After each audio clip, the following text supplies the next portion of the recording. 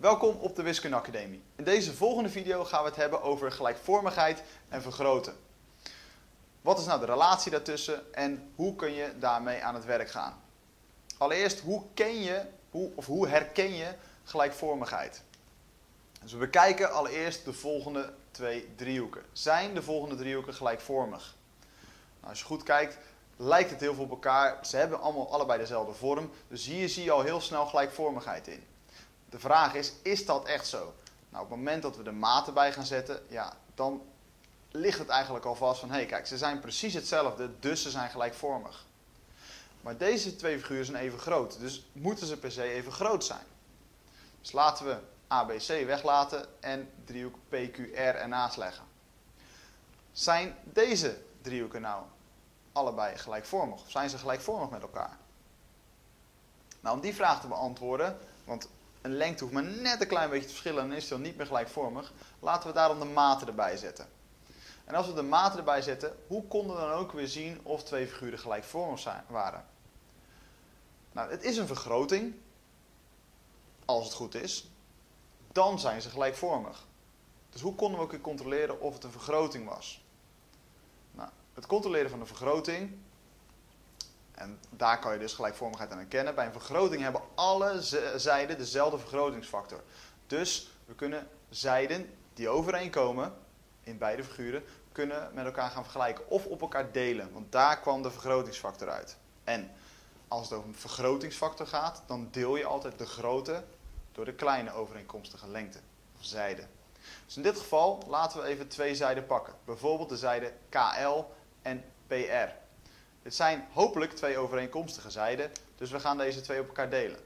Dan krijgen we dus 4,5 gedeeld door 3 en dan komen we op 1,5 uit. Andere twee zijden, dus PQ en LM, als we die op elkaar gaan delen, krijgen we dus 7,2 gedeeld door 4,8 en dan komen we ook op 1,5. En de laatste twee, dus KM en QR, waar komen we dan op uit? Dan delen we dus 5,4 gedeeld door 3,6 en dan komen we ook op 1,5. Je ziet dus dat elke zijde een vergroting van 1,5 is van de kleine driehoek. Nou, hieruit volgt dus eigenlijk dat PR gedeeld door KL en PQ gedeeld door LM en QR gedeeld door KM allemaal gelijk zijn aan elkaar en allemaal gelijk zijn aan 1,5. Je kan hier dus ook zeggen dat er allemaal eenzelfde verhouding zit tussen die getallen. Dus we kunnen hier een verhoudingstabel van gaan maken. Nou, en de verhoudingstabel, dan gaat er misschien een belletje rinkelen. Vandaar dat we er straks mee gaan rekenen met kruisproducten. Nou, nu hebben we gekeken naar het, de vergrotingsfactor en naar de zijde. Maar waar kan je gelijkvormigheid nog meer aan herkennen? Want nu herkennen we dus aan de vergrotingsfactor, maar waar kunnen we nog meer aan herkennen? Nou, een andere manier om vergrotingen te herkennen is namelijk dat bij vergroten ook altijd overeenkomstige hoeken gelijk blijven. Dus wanneer we dus driehoek KLM in de grote driehoek gaan schuiven, dan zie je dus dat hoek L en hoek P precies gelijk zijn. Hoek Q en hoek M zijn ook gelijk en hoek K en hoek R zijn ook gelijk. Dus hoek K en R zijn gelijk, hoek L en hoek P zijn gelijk en hoek M en hoek Q zijn gelijk. Wat kunnen we hier nou mee? Nou, gelijkvormigheid willen we altijd op een mooie manier opschrijven en daar hebben we ook een wiskundige notatie voor. Hoe doen we dat? Je gaat van één driehoek uit. Dus bijvoorbeeld driehoek KLM. En die is gelijkvormig aan de andere driehoek. En hoe schrijf je dat netjes op? Nou, allereerst dit tekentje. Dit tekentje staat voor is gelijkvormig met. Dus hier staat nu driehoek KLM is gelijkvormig met. En dan belangrijk, hoe schrijf je de volgende driehoek op? Nou, belangrijk is dat je dus overeenkomstige hoeken in dezelfde volgorde opschrijft. Dus driehoek KLM begint met K. Dus we gaan kijken welke hoek is gelijk aan hoek K. Dat is hoek R. Dus we beginnen met de letter R. En deze volgorde is heel belangrijk. Heel veel leerlingen die fouten maken in deze opgave zitten met hierin. Dat ze dus niet de goede volgorde pakken. Dan krijgen we L, want je krijgt KLM. Dus een L is gelijk aan hoek P. Dus als tweede letter schrijf je op P. En derde is M, dus de laatste letter is Q.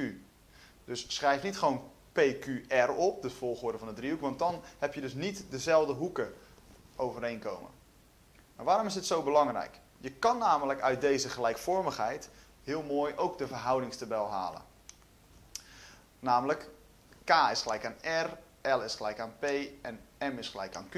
Dus als we een verhoudingstabel op gaan schrijven van deze twee driehoeken, en dat noteren op de volgende manier, dus driehoek KLM is driehoek RPQ, dan zijn namelijk de eerste twee letters van driehoek KLM, dus KL, gelijk of gelijkvormig en in verhouding met RP, oftewel PR.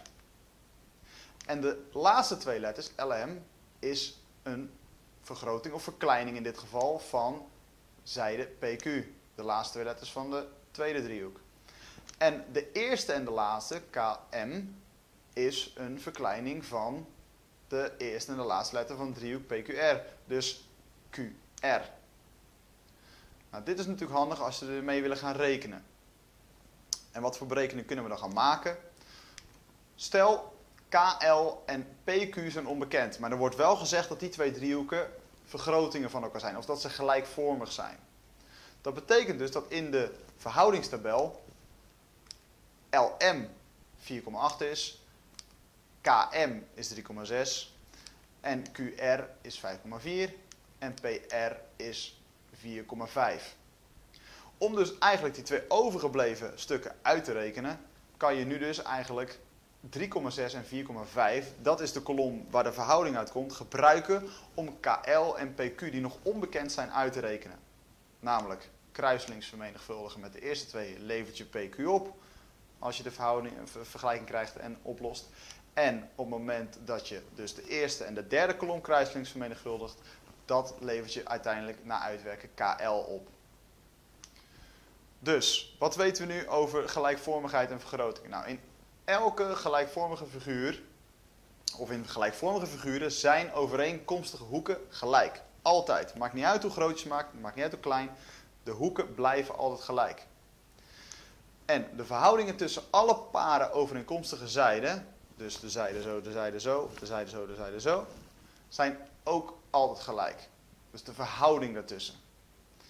En daarmee heb je dus, maak je dus eigenlijk je verhoudingstabel, waarmee je dus zijden uit kunt rekenen.